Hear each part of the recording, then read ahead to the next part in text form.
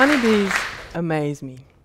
What a honeybee hive can do is that about 20 to 30,000 bees that are in a single hive, and they manage to keep the temperature of the nest at exactly 34 degrees Celsius. And it's not a degree higher and not a degree lower, no matter what the outside temperature is. Honeybees have developed the waggle dance. So what they do, as you probably know, is they go out and forage, and they look for flowers, and then they come back to the nest, and they tell the other bees where they found something and how, how good it is. And they do that with a waggle dance. That's the way of communication. And what happens when the bees need a new nest? There's going to be lots of possible nest sites. And different bees go out and explore and find different options. And then at some point, the whole hive together all move as one to the new nest. It's not that some go some one way and some go another. All collectively, at the same time, off they go. Now, do they follow an overall controller? Do they do what the Queen says, like we do in Great Britain? No. In fact, what a honeybee hive does is they have a democratic voting system in place. So when they need a new nest site, they send scouter bees out to look for possible nest sites. These scouter bees come back, and again, they do their little waggle dance, and they tell the other bees how great the site is they found. And that way they recruit other bees to have the same opinion. And once the majority of bees has the same opinion, then the entire hive, and not just that little group, takes off and moves to that new nest site. Now, those aren't bees, they're neurons. Neurons in your brain. Now, you wouldn't think that your brain would have anything in common with a beehive. But you have to make decisions. And experiments suggest that when you make a decision, it's something like what happens in the beehive, in the sense that different neurons get recruited to do one thing or the other. And only when a majority of neurons are all saying the same thing is the decision made. And we can make, play a little game, which is I'll show you some dots on the screen, and I want you to make a decision. Some of the dots will be moving right, and some of the dots will be moving left. And I want you to decide whether the majority of dots is moving left or right. And once you have made a decision, I want you to raise your hand, and you raise your right hand if you think the majority of dots moves right, and you raise your left hand if you think the majority of dots moves left. So here's a movie. And once, as soon as you've made up your mind, raise your hand. Okay? I can see people, some people make the decision very quickly, and some are waiting a little bit. And most of you show left, which is the right answer, but some of you show right, and it's only about 50% dots more are moving to the left than to the right. So it's not an easy decision to make. So we've discovered that a honeybee hive and the neurons in your brain are similar systems.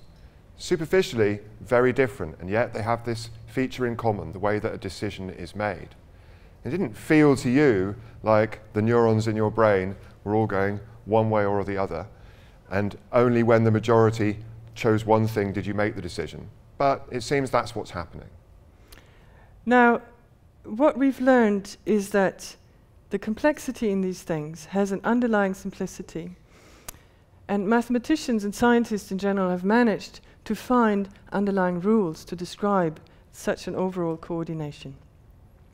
And for example, sometimes when people engage in collective action, they are all being told what to do by a boss. So, for example, a herd of horses have a lead mare, and the mare decides where to go, and the other horses follow. But in other systems, it's not like that at all. There is no overall controller. Their coordinated action comes about through some other mechanism. So if you think of a flock of birds, now each bird is an individual organism with lots of properties. They have a size, an age, a color, they have a certain hunger level, they have needs, they need to find food, they need to procreate, they need to stay alive. The question is, which one of these properties matter when you want to predict the behavior of the entire flock. And it turns out that almost all those properties are completely irrelevant.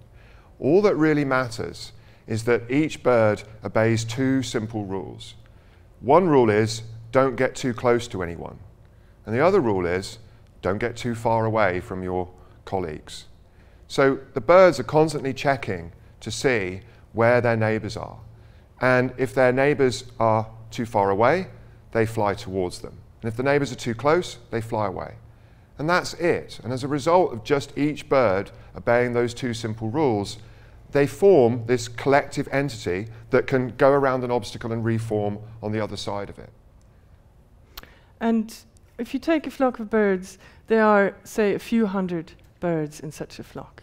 But there are complex systems that are way bigger than that, and they consist of billions of interactions between many, many, many elements. The brain is such an example.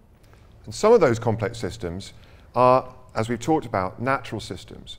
And as well as flocks of birds, we could talk about shoals of fish, we could talk about insect swarms, and so on. But we've made some of these complex systems ourselves. The financial economy and the internet are complex systems. They have an underlying order beneath the bewildering complexity that we see here.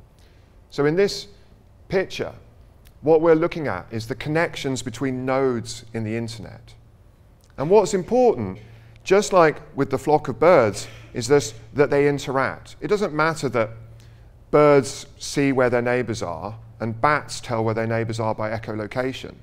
The same behavior, the flocking behavior, emerges just because they're able to tell where their neighbors are. Now, in the internet, the connections could be fiber optic, or they could be microwave, or they could be electromagnetic cables. But what's important is just what nodes are connected to what nodes. And what scientists have done, they've used this, this, if you like, the irrelevance of the precise nature of the interaction, just abstracting all of these systems to a network. You can abstract a beehive to a network. You can abstract, obviously, the internet to a network, the financial economy to a network. And that allows us to find underlying simplicity in terms of mathematical rules for all of these systems. Now, we talked about complex systems that are natural systems, living systems. We talked about the internet and the financial economy. Well, they're not living, but they're made by us.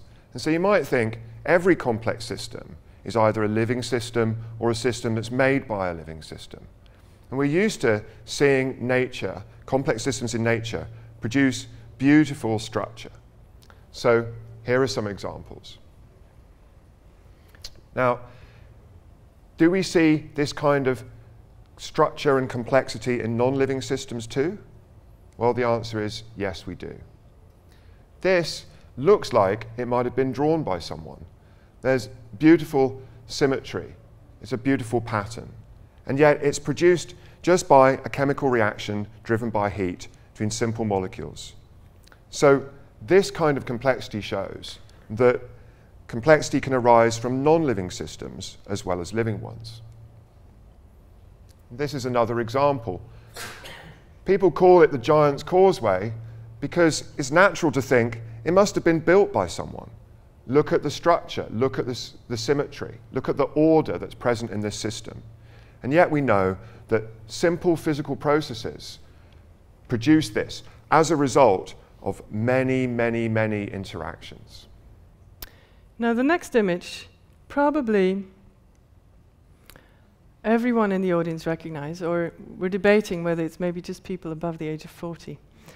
It's an image of the computer game Pac Man. And of course, Pac-Man has been programmed by someone.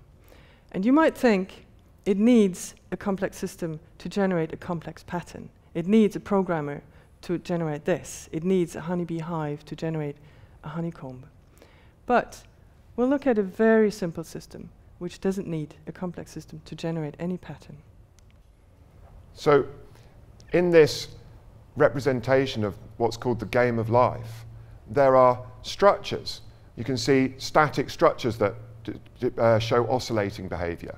You can also get entities that look like Pac-Man. They come along and eat other things, and things called gliders and so on. And when you see some of these things, you think, they must have been designed by someone. Someone must have created that oscillating little cross at the top there. But no, this is governed by very simple rules. The rules are roughly if a cell is too isolated, it switches off. If a cell is too crowded, it switches off. But if a cell is not too crowded, not too isolated, then it stays on or turns on. And just those simple rules, and then the repetition of them over many, many, many cycles will generate a, comple a complexity that almost looks like it's been designed. So what we learn is that the complexity in these systems is actually the result of many, many interactions. And it's just that we find it difficult to imagine what the structure will be that arises from these many interactions, which really follow very simple rules. And the reason that scientists have begun to be able to predict such behavior in complex systems is because they have the help of computers with more and more power. And what we begin to see is the different layers of complexity in these systems. We have the layer of many individual actions leading to a coherent decision. We have the layer of order arising from purely physical and chemical interactions. And we have the layer of coherent social behavior, which comes about only through very simple individual rules of behavior. And one of the systems where all of these layers at the moment are being put together is in the study of cities. A city is an incredibly complex system, and like lots of complex systems, it's a complex system that's made of other complex systems. Your body is like that too. Each of your cells is an incredibly complex system. Your body is a complex system that's made of all of those. And in your body, there's flows of energy, flows of waste products, flows of nutrients, flows of information. And it's a bit like a city, because in the city too, there has to be flows of information, energy, food, and waste, transport. Now, if we look at cities in the right way, we can start to see a simplicity underlying the bewildering complexity of the hubbub of city life. Because what we can do, again, is abstract away all of these interactions that happen, the different flows of energies, communication, phone calls, bus rides. We abstract that again into a network. And then we start to see patterns similar to the patterns that we observe in systems in the biosphere. And it allows us to actually predict things about cities. So, for example, we can predict the income statistics of a city purely given its size. We can predict the number of petrol stations of a city purely given its size. And the reason are the simple mathematical rules underlying all of that complexity. So, this is a representation of Sao Paulo, and there the people are communicating in Spanish, but here we're communicating in English. But what's really important for many of the characteristics of the city is just that the people are communicating. It doesn't matter what language they're speaking. What's important is that energy is flowing around. Not so important exactly what form that energy is taking. So when we think about complex systems in the right way, we can abstract from some of their features and understand the simplicity that underlies the wonderful complexity that they display. Thank you.